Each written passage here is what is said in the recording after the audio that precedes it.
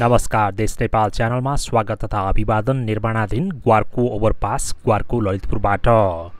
Flyover नभएपछि अब हामी पनि ओभरपास नै भन्न चाहन्छौँ। त खुसीको खबर आएको छ ग्वारको ओभरपासबाट यसको भौतिक प्रगति बहत्तर प्रतिशत पुगेको छ।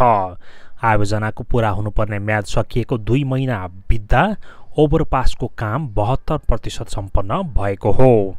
सडक विभाग अन्तर्गत गुणस्तर अनुसन्धान विभाग केन्द्रका प्रमुख नरेशमान साक्यका अनुसार अहिले धमाधम काम अघि बढिरहेको छ र जसको हुबहु दृश्य अहिले हामी हेर्न सक्छौँ दैनिक साठीजनाले दुई सिफ्टमा सोह्र घन्टाको दरले काम गरिरहेको साक्यको भनाइ छ।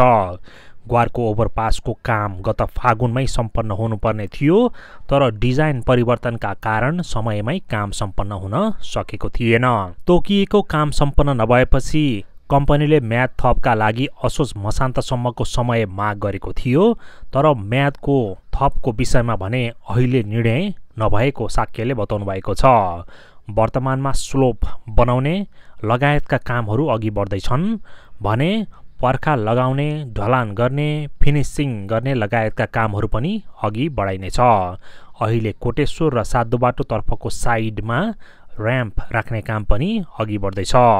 जमिनले भार थेक्न नसक्ने भएर जमिनको क्षमता नै सुधार गरेर बलियो बनाउनका लागि जमिन मुनि चार हजार एक सय दुईवटा पाइल्सहरू पनि राखिएको छ र जुन सम्पन्न भइसकेको छ। पुलसम्म पुग्नको लागि आवश्यक पर्ने स्लोपको निर्माण भने जेठ मसान्तसम्म सम्पन्न गरिने योजना रहेको बताइएको छ। यो दस मिटर माथिसम्म पुर्याउनु पर्ने भएकाले पनि केही समय लाग्ने निश्चित देखिन्छ। ग्वारको ओभरपासलाई इपिसी अर्थात् इन्जिनियरिङ प्रोक्युरमेन्ट एन्ड कन्स्ट्रक्सन मोडेलमा ठेक्का दिइएको हो र यो मोडेलमा ठेकदार आफै डिजाइन र निर्माण लगायत निर्माण सम्पन्न भएपछि मर्मत सम्भार पनि आफैले गर्नुपर्ने प्रावधान हुन्छ। यस्तो ओभरपास नेपालमै पहिलो पटक बन्न लागेको हो। यसमा पिलरहरू प्रयोग हुँदैनन् स्लोप पारेर उचाइ बनाउने र ओभरहेड ब्रिज राखेपछि यस्तो ओभरपास बन्दछ जुन फ्लाइओभरभन्दा सस्तो पनि हुन्छ तर फाइनेन्सको हिसाबले भने अन्डरपास धेरै नै ठिक हुन्छ। ग्वारको चोकबाट बिएनबी अस्पतालतर्फ एक सय पचासी मिटरको लामो स्लोप हुनेछ। त्यसै गरी बालकुमारीतर्फ भने तिन सय बिस मिटरको अर्को स्लोप हुनेछ। यसबीचमा पैँतिस मिटरको ओभरहेड ब्रिज हुनेछ जुन अब ढलानको चरणमा पुग्न लागेको छ। जम्मा स्लोपको लम्बाइ पाँच सय चालिस मिटरको हुनेछ र स्लोपको चौडाइ भने सोह्र मिटरको हुनेछ।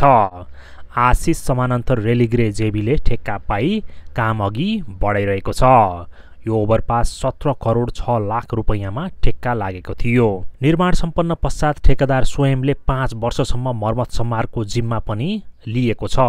त यसरी असार मसान्तसम्म काम पुरा गरेर साउनमा गाडी गुडाउन मिल्ने गरी काम अघि बढेको छ भनिएको थियो। केही हप्ता अगाडि मात्रै तर अहिले असोज भनिएको छ र अब छिट्टै आउने बर्खा सिजनले पनि काममा प्रतिकूल असर पार्ने पक्का पक्की नै छ।